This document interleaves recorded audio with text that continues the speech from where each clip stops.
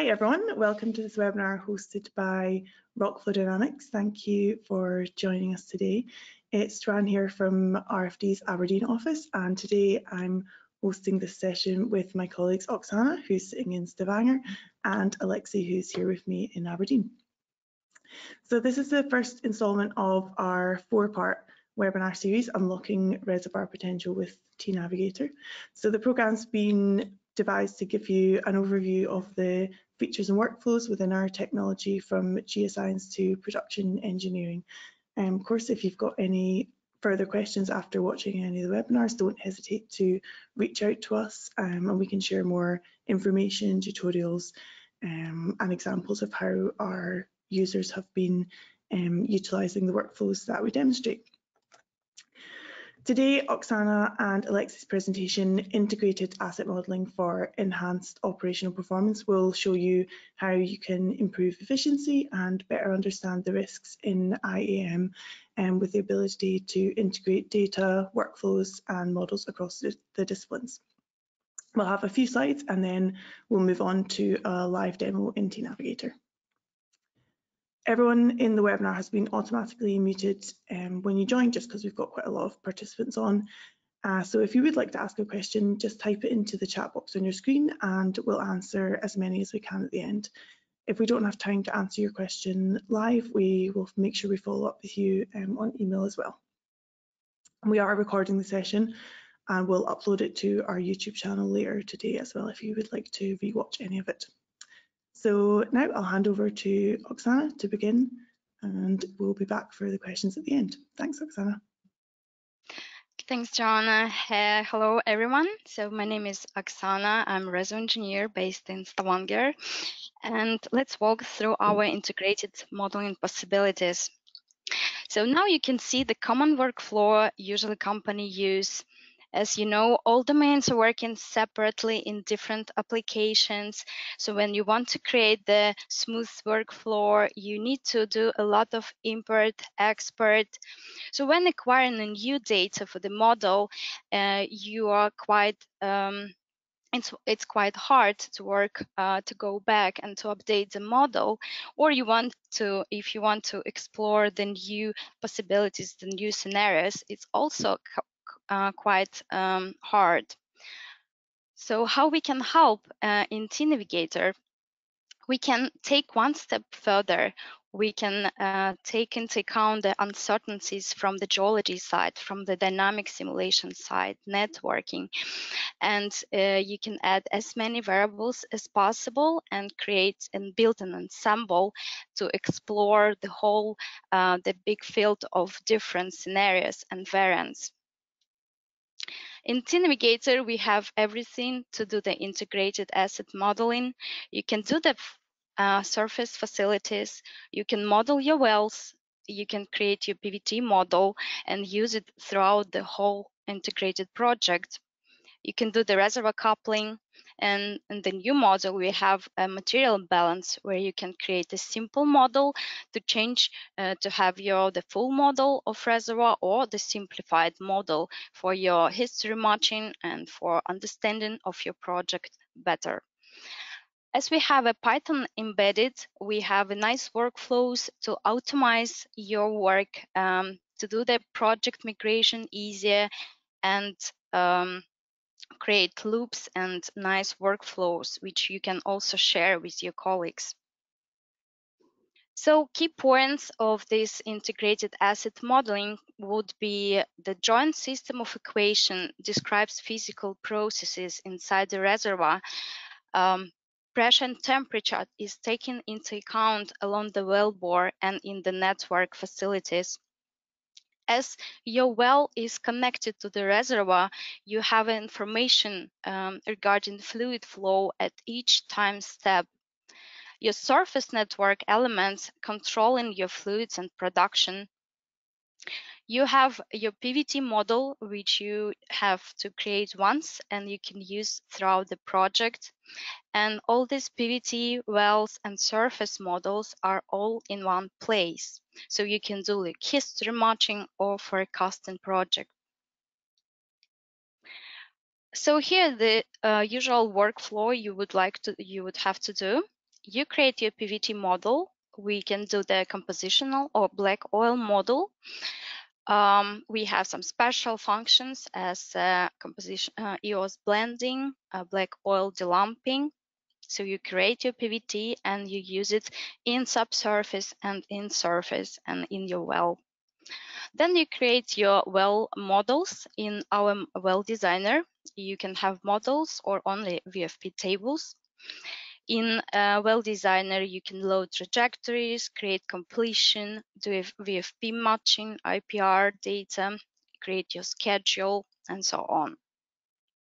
Then you can create your surface facilities on the top, such as uh, you can set separator pressure, have different constraints uh, from the network, have chokes, pipelines, create um, to the flow assurance, and as you have uh, your subsurface model, it can be one reservoir or it can be more, like two or more. And as I said before, you can even have the material balance model here coupled with your uh, other elements. And then uh, on the whole this uh, project, you can do forecasting and optimization. Uh, to understand better how it works, um, I will go through some steps. So you start, the best is to start from model designer because here you can see uh, all these parts and you can load your existing subsurface model or you create it from the scratch and you can run it.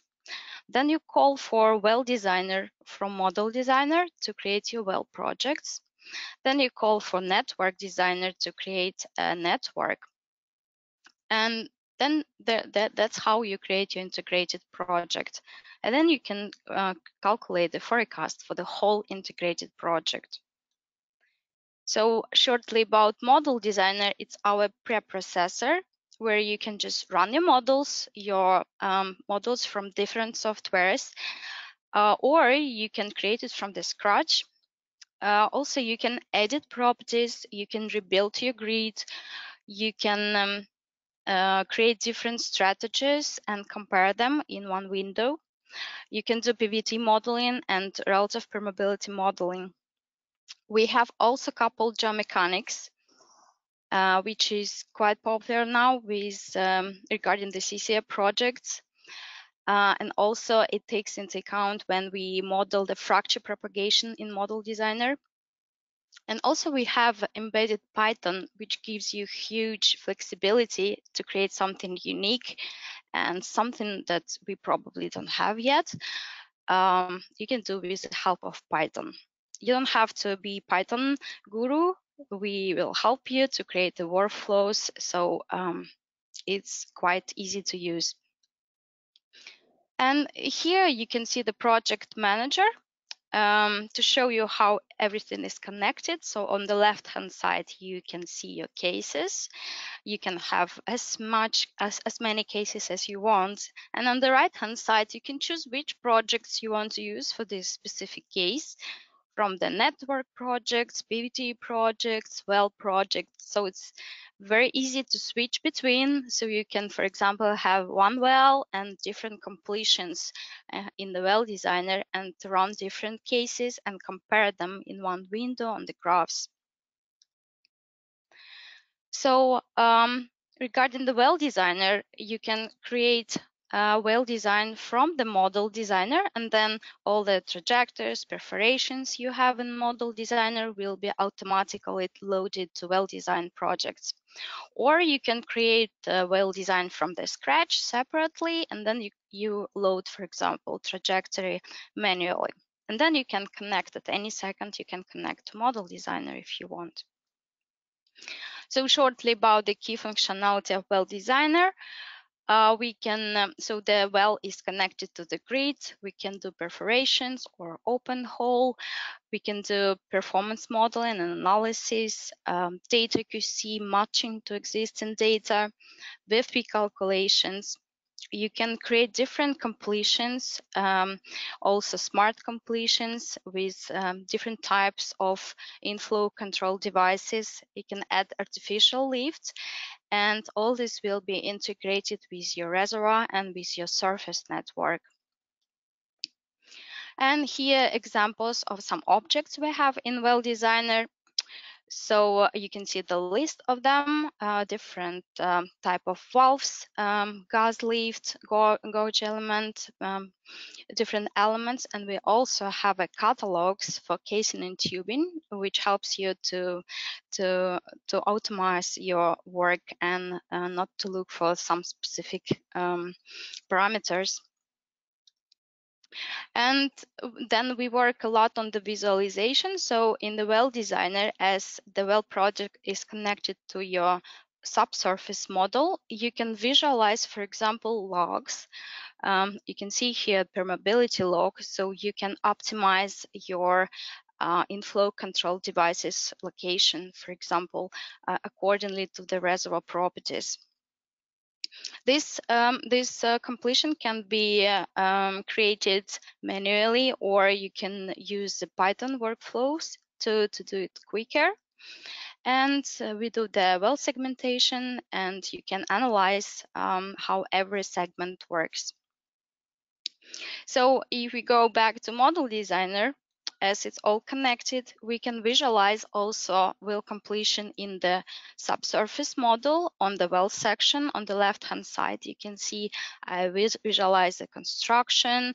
I have a permeability on the track uh, on the right hand side. And I also added production by connections. So I have oil right now by connections and I even can put the grid scale on the top so, so you can actually see which cell works in which interval. And on the right hand side, uh, you can see the visualization of graphs. Um, you can um, take a look at any of your segments. Um, uh, usually it's with uh, inflow control devices, you want to understand how the interval works. So these visualization, visualization tools help you to allocate completion elements in accordance with properties along the well bore. And as we have our uncertainty quantification tool also integrated, we can do different workflows for optimization of your work. So in this case, here's example of your best um, completion creation. So you have your dynamic model, you create a workflow with uh, completion creation, and you can run hundreds of cases um, together, dynamic model and the well model to optimize your well completion using our different algorithms. So uh, you can also have your network uh, on the top, which also can be created from the model designer. Uh, or you can create it manually and then synchronize your steps with the subsurface model. Uh, regarding network, Alexei will be talking more uh, while showing demo. And uh, one more feature, the last one, I wanted to talk um, as uh, we can do the coupling for our integrated model. So it, it becomes very popular in Norway when you have um, different reservoirs connected to one network uh, offshore. So um, we can do the fully implicit reservoir coupling. Uh, we can do black oil and compositional model combination and you can visualize um, those reservoirs uh, in one window. Uh, you can use the Python workflows to uh, create this um, optimization strategy, controls, and create your history matching and forecasting projects. So as I said at the beginning, uh, now we have a lot of challenges while working in different uh, applications and tNavigator helps us to solve a lot of these problems as we have one engineering environment as like me, like a reservoir engineer and Alexei, for example, he's production engineer. We are working in the same windows, in the same, with the same project. Um, as we have the whole system, we do, we can do the trans, transparent matching and QC process um, by looking simultaneously what's what's happening on the network and in the subsurface level. The, pr the project is easy to update using our Python embedded, and we have also multi-editing tool. So at any second, you can update any part of your workflow and work further with your project. And we have user-friendly results visualization, which of course helps you to analyze what you received and to take a decision. And uh, at this moment, I want to give floor to Alexei. He will show us a demo with a real integrated project. Alexei, please. Yeah. Um, hi, everyone. So let me just share my screen first. Um, let me just minimize it first and go back to my screen. Okay, um, Oksana, thank you for, for the beginning. So uh, I would like to continue with the with the with the demo project we have. So and basically, as we already mentioned, so we have um, we usually work together with the REs and petroleum engineers to run the forecast and do some kind of um, uh, production optimization and calculate the optimal forecast scenario, the optimal field development strategy. So and ideally to have an environment where we can both work together and also having uh, a geo on the background. So basically, when we do integrated asset modeling, we are talking about reservoir models connected to the wells and to the surface facility. So if you have a look on, on the left-hand side, so I have a reservoir model here, which is um, pretty simplified. So, but uh, basically, I will show you some workflows that we have. So, working in TNAV, so we have an access to your static and dynamic uncertainties um, talking about res reservoir model. And also on top of that, if you go on, if you have a look on the right hand side, so we have an access to all the elements related to more engineering stuff. So we have the network model here, and you can simply have a look and we have a network model connected to the wells and the pipeline system connected to the separator. But the thing is, so um, you also have a different elements in your in your project. So and the because we usually do a lot of uh, testing, um, sensitivity analysis, etc. So it's quite handy to have a different realizations of your wells PVT into one place, and also for the network too. So basically, if I have a look on the right hand on the top side, so I have an access to well project. So and I have the all of the data needed here to create the project from scratch or import the project from from third-party applications, which is we also can do. So basically, you have an access to well project, as Oksana mentioned, and you can do the the the well project from scratch again. You can do the matching procedure uh, using your well test data, and you can calculate the VFP curve. So you can visualize the VFP model and in that case, you don't really need to, to convert it into the table. So you can keep it as a you can keep it as a as a as a model. And also, you might have um, different VFP models, and you can calculate IPR model afterwards. So basically, in in the network model, we support both options. So you can run the model connected with the simulator, and in that case, reservoir performance will be characterized based on what we have in, in, in the grid cells. But you can also keep um, a simplified network model with the VLP and IPR models if necessarily.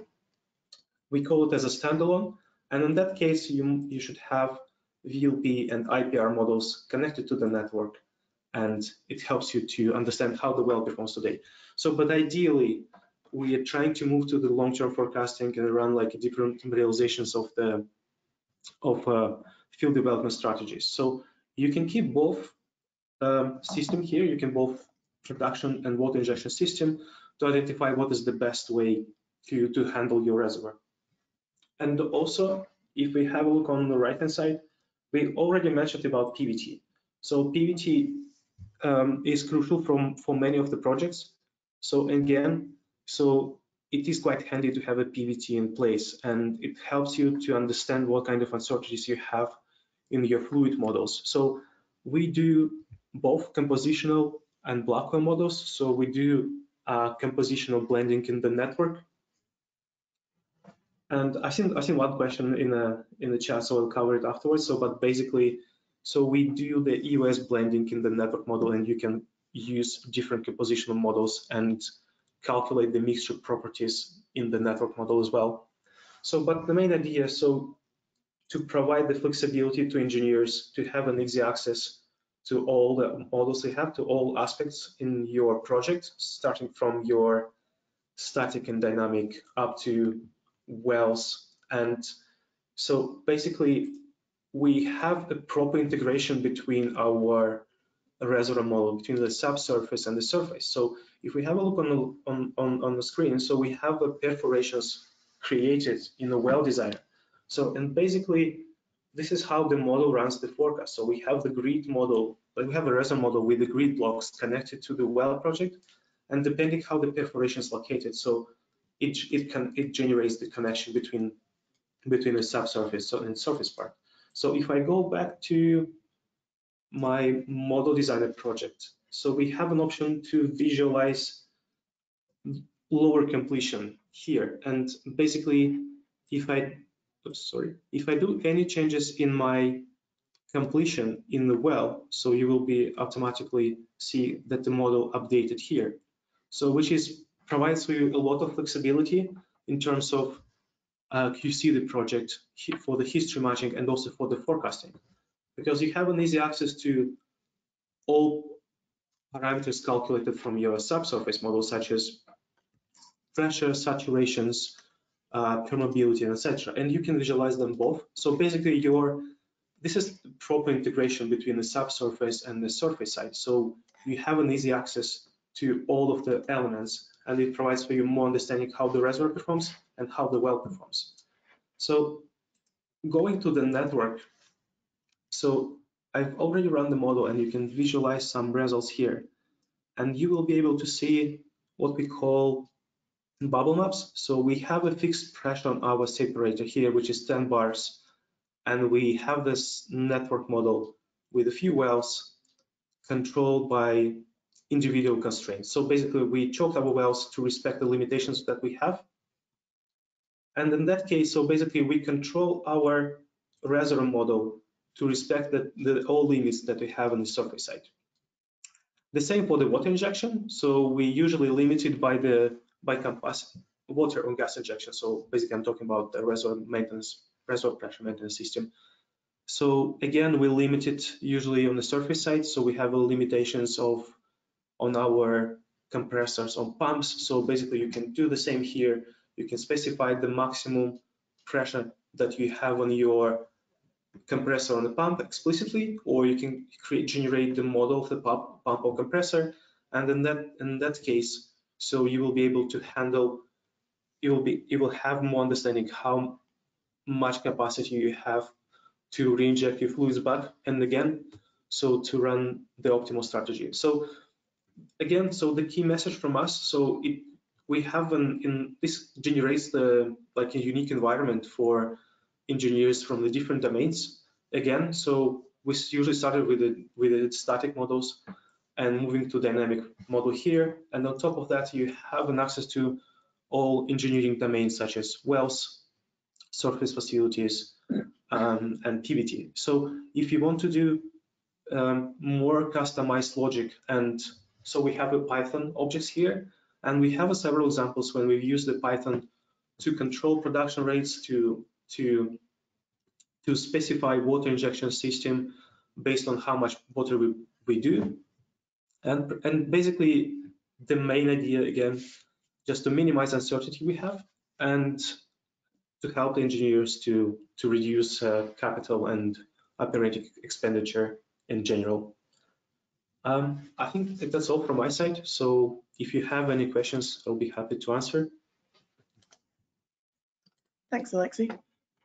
Forgot to put your camera on. Um, okay, let's see if we have some questions. I think, I don't know if you kind of answered it or not, but I'll just repeat the question that came in. Um, so it said, in case we have multiple reservoir models, let's say three coupled models, First is a black oil, second compositional with seven components, and third with 12 components. Component names and properties are different, and these three models produce to the same separator facility. So how does tNavigator handle this from a PVT point of view? yeah, from yeah, that's a good question. So I've tried to to mention it briefly during my presentation. So yeah, we handle we, we can handle different uh, different compositional models in tNavigator. So basically, you can keep them in in starting from the subsurface side up to the network. So basically, um, the properties of the mixture will be calculated based on uh, based on fractions, based on fractions of components. So if we have uh, different wells connected to the same manifold, depending on how much we produce from each of the well, the properties of the mixture will be calculated because we have a different fractions of different components. Um, we can't, for now, we can't blend black oil and, and compositional for, in the same network. So because it should be the same PVT model on the background. Um, but again, so we have, it is pretty straightforward to migrate the model into black oil or, or compositional one. Yeah, so we basically can handle it. If you need uh, any more details, so we can just, we can clarify it. Cool, sounds good. Um, maybe a question for Oksana. So um, one of the participants is asking if you can use uh, GPU for the calculations as well. Um, yes, thanks, uh, John. So tNavigator is built to use a CPU and GPU approach. So we parallelize our calculations on CPUs and GPUs. And uh, for example, linear, linear sol solver goes to GPUs, which helps you to speed up your model quite significantly. So of course, in this um, integrated project, we we will we would use GPU to speed it up. Cool, thank you. Um, have another question here. Not sure which one of you wants to answer. Uh, it says, can you use lookup tables, um, for example, coming from decline curve analysis beyond material balance and gridded reservoir in integrated asset modeling? Um, yeah, so we have the workaround for that. So we can uh, specify so the lookup table in in the schedule in Network Designer. So it is doable. So yeah, so and we can keep it both um, basically MBA model, material-based model, and uh, different realizations of your of your of your reservoir parameters. So depend depends on uh, depends on what is the objective and what kind of data you have. If you don't have the reservoir model, you have only results. So we have an option to do to use that as an input data for for the network objects, and obviously material balance model and dynamic models too. Thanks. Hopefully that answers your question. But of course, if there's any um, follow up, then just reach out to us. Um, okay, let's do a couple more questions. Uh, we've got a question about importing um, third party models in and how you can do this maybe Alexei or Oksana? Yeah, so um, so we we can do import of the project from third-party applications. So we can do it for the well projects, and also we have uh, internal workflows that can be used to migrate the, the third-party application projects into TNAV. Yeah, like regarding subsurface, we read uh, directly a lot of um, uh, formats uh, industry standard formats. You can just uh, load it and run. Thanks. And um, can this technology represent a digital twin slash digital oil field? We, we've already started that. So this is kind of like a new functionality for us, but we have some examples when we um, started to have some kind of digital visualizations on, on the model. So yes, it is doable. So, and we, we are on the way to make it more efficient. Yeah. Cool. Um, maybe do one more audience question, see how we are for time. Um, is the schedule set with integrated model similar as the reservoir simulation? Yes. So yes. Go so, ahead. Uh, yeah, so it, it is synchronized. So basically, if you have your, um, this is what we usually do. If you have your history match and you move to the forecast, so we can easily synchronize the schedule between your dynamic model and uh, wells and network, which is quite handy. So if you want to do like a history matching and you want to mimic any changes like the workover, etc., so you can just synchronize it with the well. Uh, for the forecast, again, it is synchronized. So if you want to make any changes in your surface facilities, um, um, well models, so you can just uh, do any changes and uh, the well, like the first well model will be recalculated based on the new input data. Cool, thank you. Um, I think we've got one more time for one more question. Um, someone's asking a little bit more about history matching processes in um, tNavigator, so how it kind of works with uncertainty analysis, ensemble processes. Can you see the question? Yes, we can see the question. Um, big loop and ensemble processes common and so on. Yes, as we have this uncertainty quantification tool, we call it AHM, Assisted History Matching. We have different uh, algorithms available, which helps you to run your sensitivity on your variables. And as we have the integration, we can have variables from any of the domains, like start, starting from static model, adding on the top uh, like dynamic model properties, even like uh, well um, characterization and network. Uh, so we can have this uh, this big loop um, on running sensitivity on variables and creating the forecasts, uh, building ensembles. Um, yes, so we all this we have in tNavigator. Thanks, Oksana. Okay, I think that's all the questions we have for now. But if there is any um, questions that you have still to add, um, pop them in the chat and then we'll definitely follow up with you. And if you think of anything after, you can reach out to us as well. So thank you so much, Alexei and Oksana, for preparing today's presentation. The next session um, in this webinar series is this Thursday, so that's the 14th of March, um, exact same time, so it's 10 a.m. if you're in the UK. Um, and Thursday's presentation will be using advancements in geomechanics for optimized hydraulic fracturing, fracture modeling, sorry, and that will be presented by my colleagues Maria and Tibor. So we hope that we'll see you then, and thank you so much for your attention and for joining us today and for your great questions. Thank you. Thank you.